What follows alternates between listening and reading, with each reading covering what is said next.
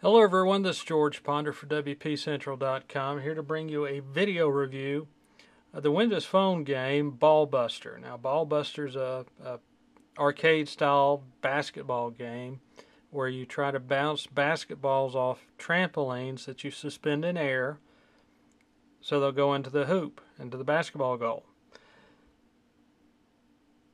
Main menu, you can quit the game, start the game, and view high scores. There's not an online leaderboard, it's all in house. Start the game, three game modes classic, arcade, and skill. Now, classic is uh, basically you have a minute to play, you got so many balls that'll be thrown at you, and you try to bounce them into the hoop.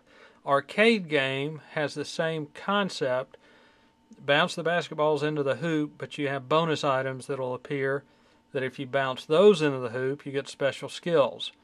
Skill game, you only have six balls that you have to bounce into the hoop to see how good you are. Now, for the concept, we'll just look, take a look at Classic.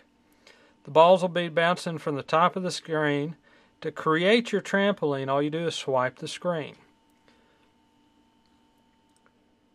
And if you swipe it just short, it'll make a little tiny trampoline. If you do it a long swipe, a big trampoline will form. And each time the ball goes in the hoop, you get a little score. And if you think just setting the trampoline right here at the basketball goal will do the trick, the balls will start coming out on this end and you'll miss them all.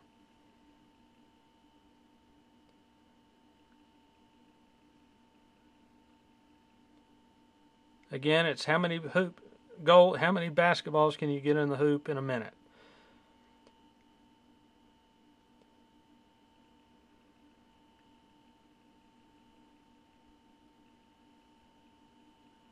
and one basketball won't come on the screen until the other one's gone, unfortunately. So if they just sit there and bounce on the bottom of the screen, it's going to eat up your time. But Ballbuster, there is a free trial version available over at the marketplace so you can try it before you buy it. Again, it, it's a nice little game for your Windows phone, not something you're going to sit down and play for hours on end. It's a nice uh, time buster, so to speak. Um, again, free version, free trial version over at the marketplace. Full version will run you 99 cents, and we'll have the links to the marketplace in the review.